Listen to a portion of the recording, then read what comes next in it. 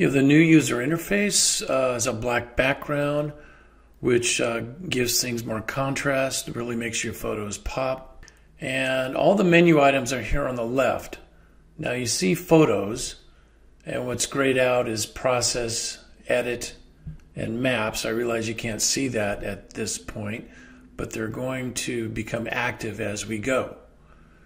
So we brought our photos in, so we click on photos. And let's select the one we want, which is right here. And when we do select this, both, both process and edit have become active. So let's go to process. Now you can see we have a Vita Classic Shade tab, a C3. And under process here, it says shade guides. And to get all the shade guides and make sure you have the correct one, you click here and they all open up.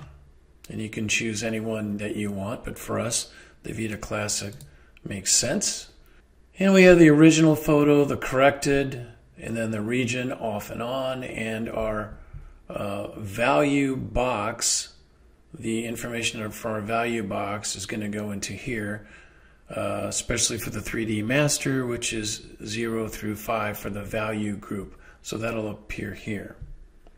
Then to process the case, we change the name uh, from one click to process photo. It's right here. Okay. So we just click on that and the cursor changes into the red box. You click on the shade tab, tell the program what it is. It's a C3. Then before you used to click on color correct as the next step. Now color correct is right here. It says color correct. But there's a more efficient, faster way to do things now. So all you need to do is right click and color correct. Okay, so the region comes up. Put it where you want it.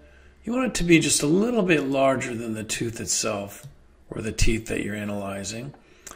And here's the value box. And you want it about uh, so big and leave that in the middle. Then to get the maps, you put the cursor inside of the region, you right click and crop region. Now as you do this, the menu for maps has become active. So let's click on that. Under maps, we have all shades, four or three, and I recommend you put it on four and leave it. And what you do is you would go ahead and click on the different colors and now you have all the shades. So that's the process of bringing the photo in, which we've done before, and we process the photo.